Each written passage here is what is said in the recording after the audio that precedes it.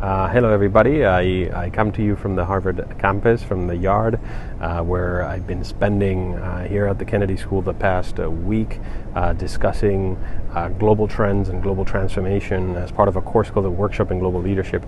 and it's been fascinating. It's been a very interesting week because we've been discussing with top experts here, academics and practitioners, the state of the world and the big trends of change in that space. And a couple of themes have emerged, but the big one, the big backdrop, is something that I was discussing in a prior prior video with you guys, which is this idea of the erosion of the liberal order, the risks to the order, uh, this idea that it is collapsing. And by the liberal order, I mean basically international institutions like the UN, NATO, uh, the EU, uh, the idea of liberal democracy, the idea of liberal uh, economics, open markets, and others. And, and that threat is coming from two dimensions, at least. This is what uh, the lectures here have conveyed to us. And one is extremely uh, clear and it's structural, it's external, and it's composed by countries like China, which are openly authoritarian and anti democratic and defend that system, but not just China, also Russia.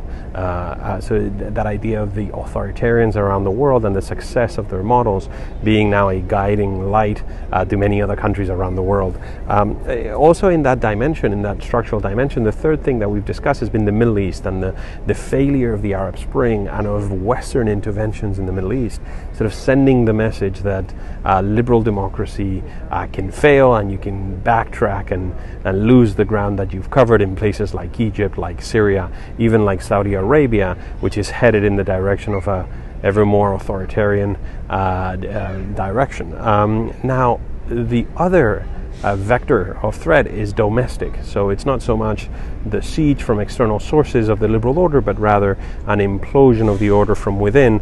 And there, there have been four trends that we've discussed and that are very interesting. Uh, trends and phenomena. One, of course, is Trump and populism in the US and the effect uh, that Trump and his discourse are having on the prestige uh, and the legitimacy of democracy here.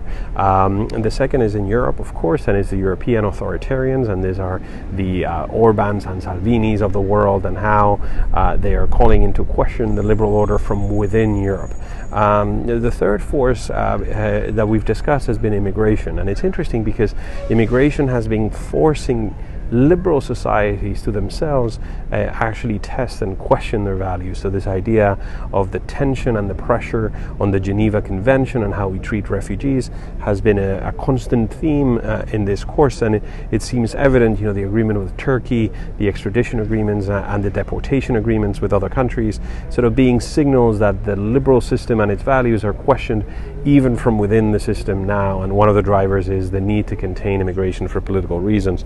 Uh, and the fourth and final trend in this domestic dimension has been technology, globalization, and the impact of these trends uh, on the Western middle class, particularly in Europe uh, and in the United States, and the difficulty in governing that change and the change in the jobs market and others. So these forces are producing a populist backlash within the West uh, that is leading to a questioning of that order. So it's been a fascinating week, but uh, full of questions, and the backdrop has been this very negative message. And it's incredible that, you know, only a decade and a half ago, we were speaking about the end of history, the idea that every country in the world would become a liberal democracy and an open market.